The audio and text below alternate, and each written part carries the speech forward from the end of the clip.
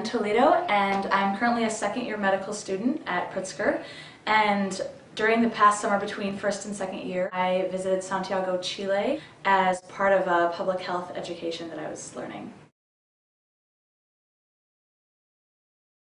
I've had an interest in public policy and specifically uh, comparative health policy between different countries. So with health reform going on currently in the US, I thought it was especially prevalent time to learn more about how other countries have solved some of the problems that we're facing now. And in particular, University of Chicago had a connection that we were beginning to form with Chile. So I thought that would be a good place to start.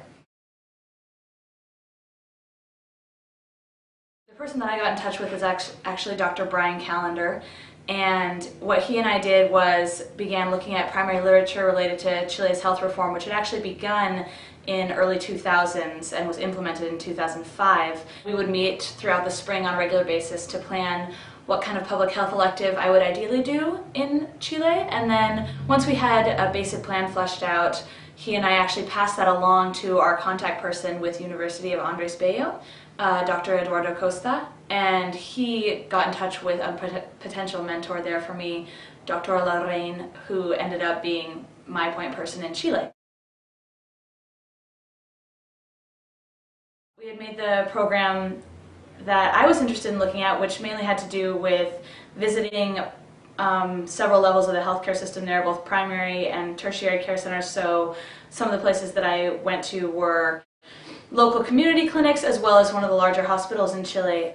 And my intention was that I would spend time one-on-one -on -one with my mentor as well as visiting some of these places and ideally observing how their health system works. Um, either I would be paired with my mentor, Dr. Larrain, or uh, actually a set of different mentors that they put me in touch with, all of whom were fantastic and very excited to work with me. Um, and I would be either working one-on-one -on -one with them, for example, just at their office in a setting, and they would be going over some articles that they would like me to read related to health reform in Chile and how that was currently playing out, and so we would discuss that one-on-one. -on -one. Um, and I might meet with them and then a director of a health center in the school setting for an entire day sometimes. Um, on other days I would be visiting a hospital or a smaller clinic. They would come pick me up where I was living in a local neighborhood in Santiago and then we would drive out to one of these hospitals, get tour, meet some of the directors of that hospital. I in particular was looking to interview a variety of health professionals so they were going out of their way to put me in touch with them while we were at those hospitals. We'd do the tour, meet some of the medical students and then spend time in that facility just walking around and learning how they did their jobs there. The medical program there is a little bit different than in the US in that they actually begin right out of their version of high school and they go for seven years and then graduate as a medical surgeon. So um, the medical students that I was working with were all people who were actually a similar age to me because, but they were in their final year of medical school. And I met them through the community health class that my mentor in Chile ran during their seventh year. Um, and so it's an elective for them that they all take and I met several of the med students that way as well as Dr. Costa putting me in touch with a couple students. A variety of those students are actually going to be doing the same thing here at University of Chicago pretty soon. They actually did everything with me in Spanish, um, and that's how I functioned for the entire time that I was in Chile, and that was the expectation as part of my program there. In this particular case, in terms of how much you're able to interact with the patients and other staff members there, one will certainly have a richer experience the better your Spanish is. Um, in terms of the lowest level Spanish that would be possible to still feel like you're able to learn and contribute to the community that you're visiting, um, I feel like intermediate to advanced is pretty necessary. This trip fantastically enhanced my medical education and Pritzker experience. Um, first, it enhanced my medical education in terms of exposing me to a uh, different health system that has a really broad public health coverage and it gave me an opportunity to talk to some local physicians there in terms of how that's affected the kind of medical care that they give. Uh, speaking to them about how that's actually affected their workload with patients and the kinds of cases that they see on a regular basis as well as their um, ability to work full-time in the public sector as opposed to splitting their time between public and private care uh, was very interesting and helped spur more of my interest in community health that I have now.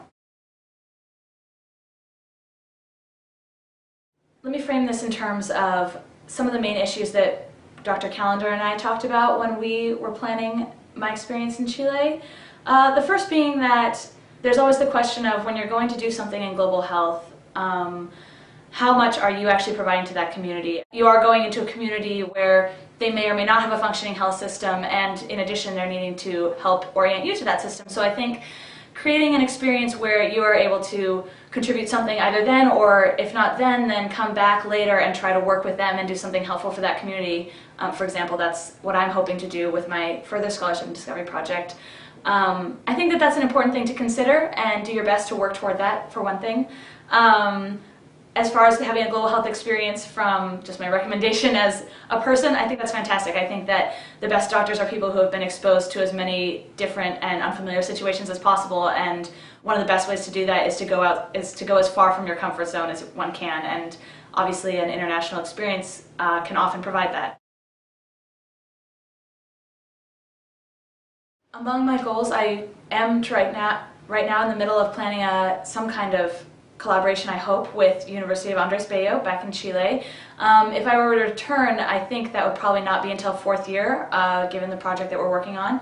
But I would also, actually, uh, my goals include visiting a variety of other, preferably Spanish-speaking countries since that is the language that I'm personally working on, but um, as many different settings as possible. So there's the Keith Edson Fellowship and the Pritzker Innovation Funding. The Pritzker Innovation Funding is for students who have come up with an original project, um, and that can actually be related to any track. It doesn't have to be global health. In my case, it was. So um, I applied for that as well, and they offered further assistance in terms of my um, covering the cost of my going on this trip. In the end, with those two combined with the Keith Edson and the Pritzker Innovation Funding, I actually was able to cover the whole cost of the trip, including airfare and my lodging there, which was um, fantastic. I think that's partly what made this opportunity possible.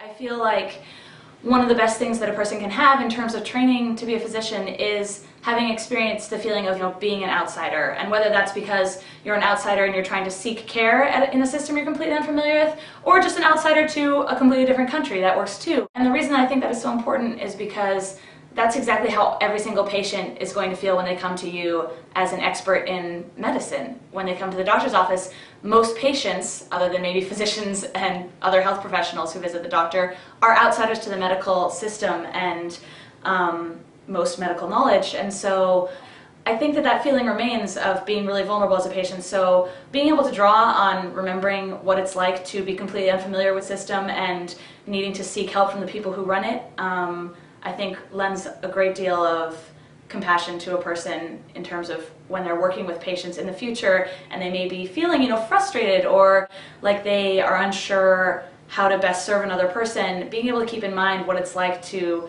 approach a situation where you need help and have no idea how to go about receiving it um, is I don't I think it's something good to keep in mind. And a global health experience I think is one way that you can um, add some of that knowledge base to your medical education. All right, hey everyone. So there are actually a variety of people I really want to thank for all of their help in preparing both the project and then doing that work when I was in Chile and uh, here at University of Chicago.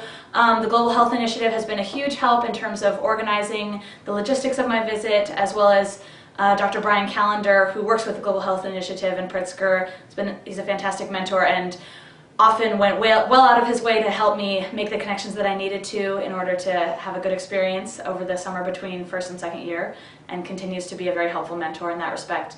Um, to the folks at Universidad Andrés Bello, uh, I apologize to other watchers, I am going to say this in Spanish, but muchas gracias por la ayuda. Uh, mi experiencia fue excelente y una buena oportunidad de aprender más sobre el sistema de salud pública en Chile y la gente allá um, son muy amables y amigos por toda mi vida. Espero que esta, pase.